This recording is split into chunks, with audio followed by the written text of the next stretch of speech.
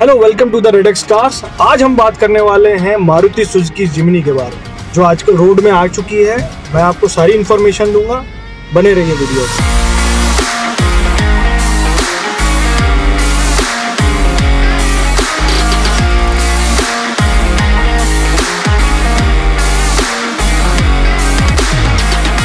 तो आज हम बात करने वाले हैं मारुति सुजुकी जिमनी के बारे में।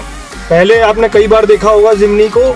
एक्चुअली ये जिप्सी की लेगेसी से आई हुई। है बड़ी क्यूट सी गाड़ी है, बहुत छोटी है, पर ठीक है इट्स ओके फाइन मैं एक्चुअली फाइव सेवन हूँ तो मेरे हिसाब से मुझे कॉम्पैक्ट लगती है। और अगर सिक्स फिट आपकी हाइट है, और अगर आप लंबे चौड़े हो तो आपको थोड़ी सी छोटी पड़ने वाली है।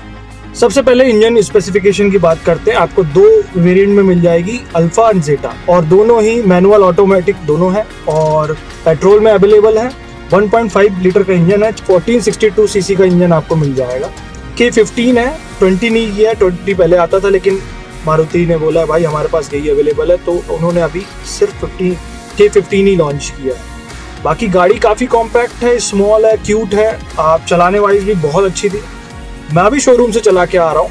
आपको सारी एक एक चीज़ बॉडी वाइज डिटेल्स दूँगा। टायर्स की बात करें तो 15 इंच का टायर है, जो कि ठीक ठाक है अलॉय व्हील है। और इसके अलावा बॉडी में एलईडी लाइट्स हैं फॉग लैम्प्स मिल जाएँगे आपको। इंटीरियर की बात करें तो कुछ ना कुछ आपको जिप्सी जैसा सिमिलरिटी नज़र आएगी। पावर विंडो की बात करें तो उन्होंने सेंटर में दिया हुआ है पावर विंडो आ, पीछे के लिए पीछे वाली सीट की बात करें तो दो ही लोग बैठ सकते हैं। अगर थ्री डोर सीटर की बात करें तो मेरे को ज़्यादा पसंद एक्चुअली थ्री डोर्स आएगी क्योंकि वो थोड़ा सा कूपे वाला फील है। और इसके अलावा फाइव डोर्स की बात करें तो पीछे ज़्यादा लोग नहीं बैठ सकते। आप दो ही लोग की स्पेस है उसमें जगह है। ये ऑलरेडी कई कंट्रीज़ में पहले लॉन्च हो चुकी है थ्री डोर्स के साथ। पर इंडिया में economy middle class you know all these things कि भाई लोग मिडिल क्लास हैं तो फाइव सीटर के हिसाब से ये इन्होंने लॉन्च की है। जिमनी में 210 mm का ग्राउंड क्लियरेंस है, जो कि ठीक ठाक है मिनी एस के हिसाब से।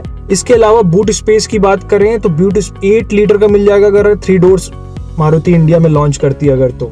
और यहाँ पर फाइव डोर लॉन्च कर रही है तो आपको टू ज़ीरो एट ही मिल पाएगा लीटर, जो कि ठीक ठाक स्पेस है। आप बैक सीट को फोल्ड कर सकते हो तो अपना स्पेस बढ़ा सकते इसके अलावा पीछे एक आपको स्पेयर टायर मिल जाएगा, जो कि अलॉय व्हील के साथ होगा।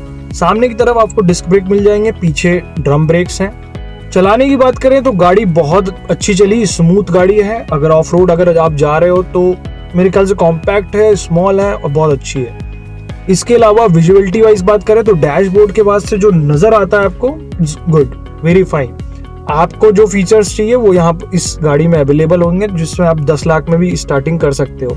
जैसे जैसे फीचर बढ़ाते जाओगे आपको वो चीज़ें अवेलेबल होती जाएगी। सो so, आपको डुअल टोन पे जिमनी आने वाली है।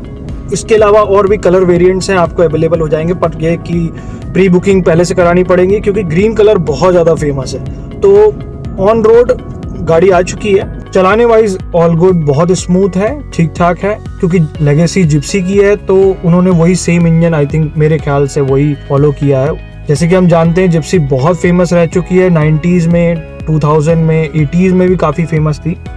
मेरे एक अंकल थे, वो चलाते थे, मैं फ़र्स्ट टाइम इंट्रोड्यूस जिप्सी से ही हुआ था, और I really like that experience वो इवन मैंने थोड़ा सा पहली बार जो गाड़ी चलाई है, वो जिप्सी ही थी। उसी की लेगेसी में है जिमनी अगर मैं रिकमेंड करूँ तो ज़रूर आपको लेना चाहिए। So hope you like this video Jimny का ये रहा क्विक रिव्यू आप जाके टेस्ट ड्राइव ले सकते हो। मारुति सुजुकी आपको ऑफर्स दे रही है। इसके अलावा यह कि आप रेडेक्स पे बने रहिए लाइक्स करिए शेयर करिए कमेंट करके बताइए नेक्स्ट वीडियो आपको किस कार पे चाहिए। तब तक के लिए thank you and stay tune bye bye